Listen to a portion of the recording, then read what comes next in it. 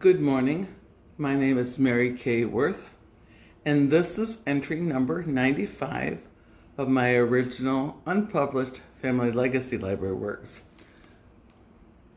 We're traveling my 65 day journey, ah, retirement. And we're in my last official day with Tom in this part of California. He shows up later. But I'm going to read you a couple of pages and then we'll get ready for the next adventure. A special treat in Modesto at the Gallo Center for the Arts. Friend Krista played Maria in The Sound of Music, and Matt directed the orchestra. It was wonderful, and Mary Kay got Krista's autograph backstage after the show. Hugs goodbye for the car that got me through the central New York winters with four wheel drive options.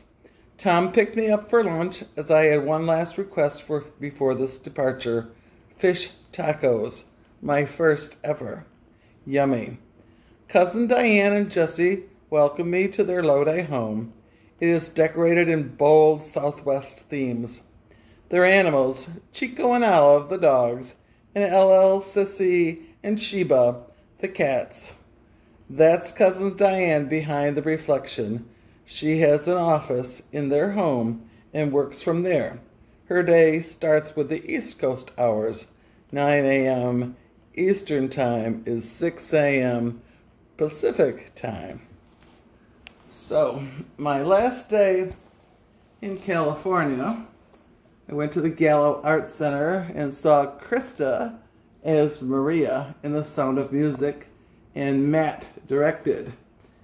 And then we had fish tacos, of course, and Tom then took us to cousin Diane and Jesse's. Now, they don't live here anymore.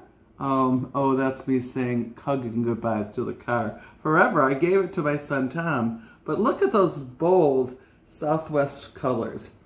Of course, there's the dog. They took me to the airport um, for the next part of my journey. I had six airplane flights from then before I got home. Anyway, have a happy day. I'm wearing awesome earrings today. They are